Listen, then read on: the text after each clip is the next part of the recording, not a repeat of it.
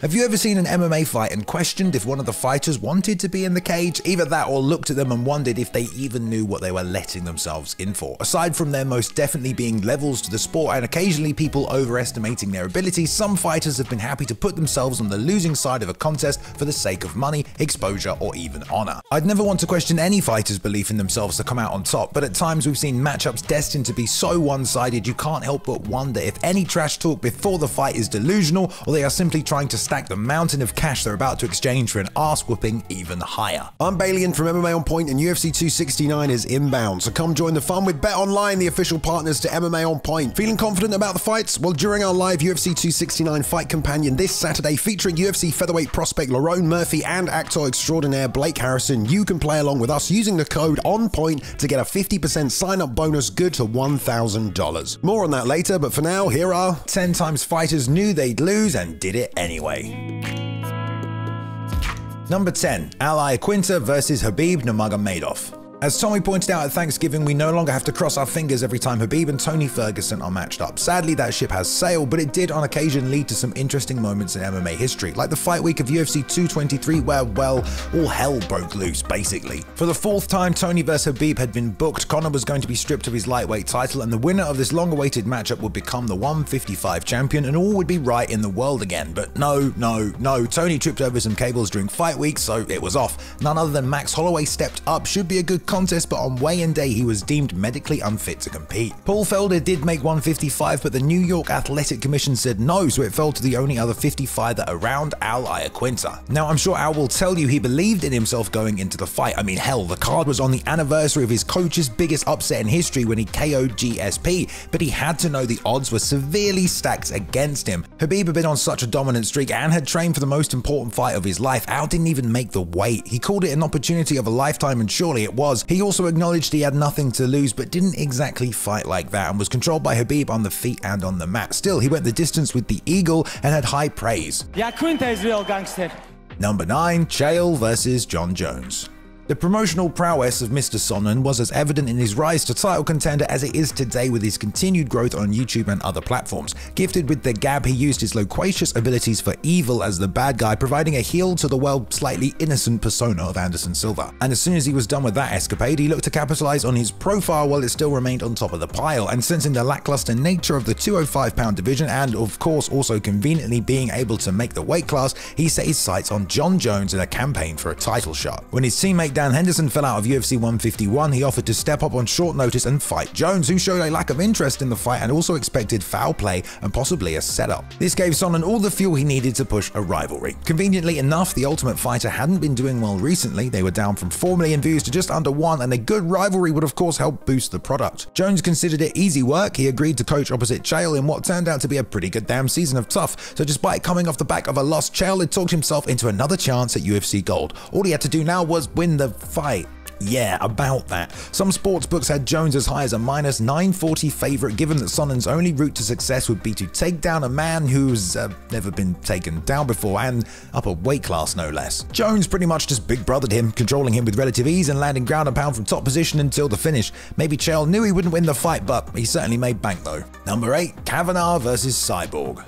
At this point, I think we've proven that the only woman on the planet who could beat Cyborg in an MMA fight is the second generation version of herself that is currently reigning over two divisions in the UFC. But after her own departure from the organization and jump to Bellator, she's picked up another four finishes as well, mainly women who didn't really have much of a chance. Most recently, Sinead Kavanagh, who was, yes, on a two-fight win streak, but only 7 and 4 in her career that began after Cyborg claimed her sixth championship win. And yeah, since that, she's had six more. Yes, I know, at 145 pounds, there aren't many choices available outside of Kayla Harrison and Nunes, who each dominate in their own respective promotions, although Kayla did make a cheeky appearance cage side for Bellator 271, where this fight took place. It went down as predicted, Cyborg blitzed her for 90 seconds, and although she came back swinging, eventually couldn't take any more and collapsed to the canvas. Obviously, when the champion is a minus 3000 favorite, it says something about the state of your division, but also about the dominance of Cris Cyborg, who has once again looked unbeatable. Kavanagh posted on Instagram about keeping her word on fighting to the death, win, lose, or draw, and Cyborg was grateful for a good old fashioned slugfest. They gotta sort out women's 145 across the board though.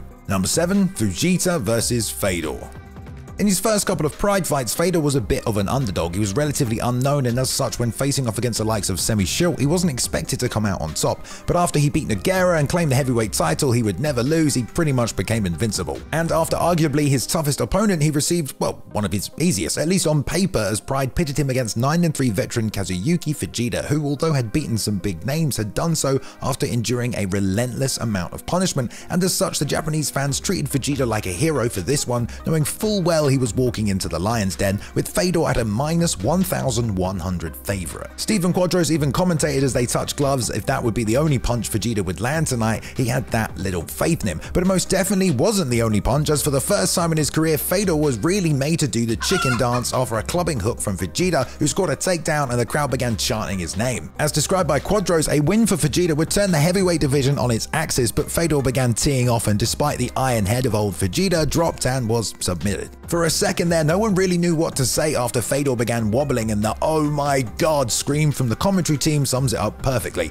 It doesn't change the outcome of the fight, however, which ultimately went as everyone expected. Number 6. Fabio Maldonado versus Stipe Miocic. In what was an all-Brazilian stacked card, Stipe Miocic was supposed to take on legend Junior Dos Santos in an epic clash for heavyweight divisional dominance at the Brazil TUF 3 finale. It was actually supposed to be at UFC 179, but the fight was pushed back. But four weeks before the event, JDS pulled out with a hand injury. Still, I'm sure the UFC had plenty of heavyweights to choose from to fill in. Mm, none at all? Well, how about a 205er then? We were in Brazil, so fellow countryman Fabio Maldonado seemed like a good choice. Only he was relatively small for even that division. This fight was on pretty short notice and aside from his boxing credentials, had little else to bring to the table, 4 and 3 so far in his UFC run. I mean, Stipe had already proved he was ready for a step up in competition, and to face the division's best, we knew he could be a future champion, and after Fabio appeared as a plus 559 underdog, it seemed most of the sports world agreed. And we weren't exactly sure what we would see, but it couldn't have been a more dominant performance from Stipe, who did indeed make it look like Maldonado didn't belong in the cage with him running through him in 35 seconds, and yeah, not exactly pleasing the home crowd. Still, no mercy was shown to the challenger, who earned a ton of respect from the community for stepping up on short notice and continued to test himself, even putting a beating on Fedor two years later. Number 5. Patrick Cummins versus Daniel Cormier. Most fighters don't talk about what goes on behind closed doors in the training room, but considering how much Patrick Cummins went on about how he broke Daniel Cormier during a wrestling practice and was happy enough to tell MMA media about it, you expect that would have been the narrative going into the fight. Cummins was filling in for Rashad Evans at UFC 170 and had been working as a barista in a coffee shop when he got the call. Cheers! The motherfucking during Fight Week, he let the public know that he'd pushed DC to tears when preparing for the Olympics, but uh, according to the head coach of the team at the time, DC's breakdown was caused when he refused to let Daniel try again immediately after his loss in training to Patrick. He was trying to simulate the Olympics, and when he told DC, that's it, they're over for you, go home, he stormed off the mat in tears. DC also told media later that Patrick knew he was having trouble in his personal life around this time as well, following the death of his daughter, and for Cummins to bring that up wasn't the kind of behavior he remembered from the Pat he knew back then. I mean, it was a pretty dick move. Go yourself especially when they had actually wrestled in competition. DC had beat him 7 and 0. The point is, yeah, it was pretty delusional of Pat to think he had a chance against DC. I mean, Cormier was 14 and 0, dominated the heavyweight Grand Prix in Strikeforce, and annihilated everyone he faced in the UFC, while you've yet to even make your UFC debut and uh, work in a coffee shop. But of course, when you're making your debut, it helps to generate as much media attention as possible, and he had certainly done that before he was sat down in the first round in a fight he was never really in. But hey, he stayed fighting in the promotion for another five years, even getting a win over future champion Jan Blachowicz. Number 4. Min Soo Kim versus Brock Lesnar. Like most people as a child, I thought professional wrestlers were the most superhuman people on earth until that kid at school told you it was fake, you tried to DDT him, and ended up getting your shit pushed in. Big time! Still, ever since someone had shown me that fighting is a sport now, I'd always wondered how those WWE dudes who can launch huge people through the air might actually fare. Of course, we all eventually got to see what happened across Brock Lesnar's career, but when he first announced he would be trying his hand at MMA, there was a lot of interest from the fanbase just to see how one of the biggest human beings on earth would actually look in a fist fight. But you see, Brock was also a US Divisional 1 national champion, pretty much the pinnacle of collegiate wrestling, and that was at 285 pounds. That combined with his monstrous figure, and yeah, he was definitely someone to be taken seriously. He was supposed to be taking on fellow giant Hong-man Choi, which probably would have been the greatest freak show fight of all time, but 10 days before he unfortunately pulled out of the bout due to a tumor and upstepped Min Soo Kim, a 2 5 judoka from the Heroes promotion who'd already been KO'd twice in the last year. So, uh, yeah, no one expected much from Kim. The promoters probably knowing full well no one would watch the event otherwise continue to promote it as Lesnar versus Choi right up until the day of the event, even though the card itself also contained a rematch between Royce Gracie and Kazushi Sakuraba. Kim himself also stated he had an eye injury going into the fight. He was immediately taken down after throwing a pretty terrible leg kick where Lesnar sat on him and didn't even have time to posture up before Kim was tapping. Yeah, well, the dude only got 30 grand for this fight, so I don't know what you expect. Number 3. Dan Hooker versus Islam Makhachev. Dan Hooker had been desperate to take a fight towards the closing of 2021, especially after an unsuccessful year, and given the lottery system built around New Zealand's COVID restriction, he had barely managed to make it to UFC 266, landing just 48 hours before the fight, making weight and getting the win. It was announced, however, that Rafael dos Anjos was out of this fight at the upcoming 267 pay-per-view against Islam Makhachev, the division's next top prospect. I want to help him retire it, you know. A B protege and definitely someone you need a full training camp to prepare for. Despite being asked by the Mac Life's Oscar Willis how he'd feel about a short notice replacement and telling him no, it was announced that instead of suffering through the process of returning to New Zealand and waiting out another lottery, he would be jumping on a plane to Abu Dhabi in what some called a Mass Effect 2 final mission to take on the Dagestanian prospect. Of course, he was compensated accordingly, but apparently his only request was for clothes, seeing as he didn't have any now that he had to spend another 30 days in Vegas preparing for the fight. Other fighters in the division weren't taking this fight with the promise of six weeks to prepare for it, but Hooker faced him regardless and eventually tweeted this gif after the loss, which came as most predicted in just over two minutes as he was taken down and submitted by the Russian. Number 2. Tamura versus Bob Sapp. I didn't know they made people as big as they do until I first saw Bob Sapp compete in Pride. If he'd been a gladiator, he'd been the guy that they threw all the really worst prisoners to. Scum of the earth types and armor-clad Sapp would have had no trouble turning into paste. At least that's how his career in MMA started. Always a fan of the spectacle, Bob found himself in several open weight contests just so we could definitely be sure what a height, weight, and muscle advantage often looks like. His Pride debut against Yamamoto attracted 10 million viewers and it propelled him to a kickboxing bout a month later where he was disqualified disqualified for throwing his opponent to the ground and raining down illegal strikes. He had become an overnight sensation and fans were keen to see more destruction. Despite being viciously KO'd by Wanderlei Silva four months earlier in another fight that probably could have made this list, Kiyoshi Tamura signed up to take on the newcomer Sapp. To be fair to him, he was a two-time rings openweight champion and also had wins over legit competition, it's just none of those previous fighters outweighed him by 150 pounds, and although I'm sure Tamura was up to the challenge having seen what Sapp was capable of and the trajectory he appeared to be heading, well, he was basically just a stepping stone. Bob wasted no time ending the fight in 11 seconds, living up to all the hype he had built for himself. Number 1. Yumiko Hotta versus Gabi Garcia.